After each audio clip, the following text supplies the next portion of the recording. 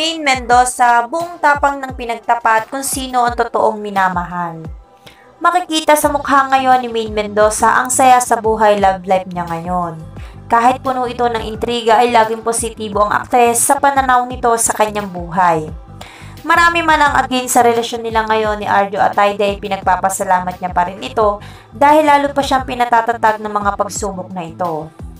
Sa loob ng dalawang taong pakikipagrelasyon ni Min Mendoza kay Arjo at Aide ay marami na silang napatunayan sa kanilang mga tagahanga.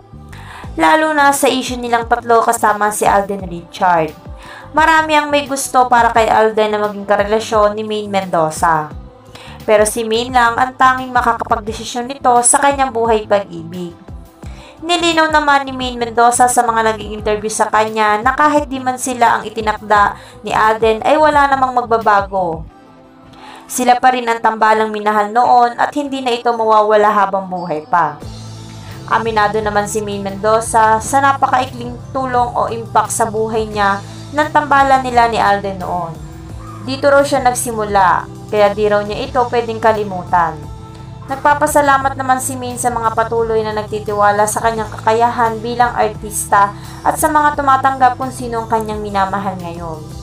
Buong puso ring nagpapasalamat si Min kahit di na sila malimit makitang magkasama ni Alden, ay sinusuportahan pa rin sila ng mga tagahanga sa mga bawat gagawin nilang movie, teleserye na hindi sila magkatambal.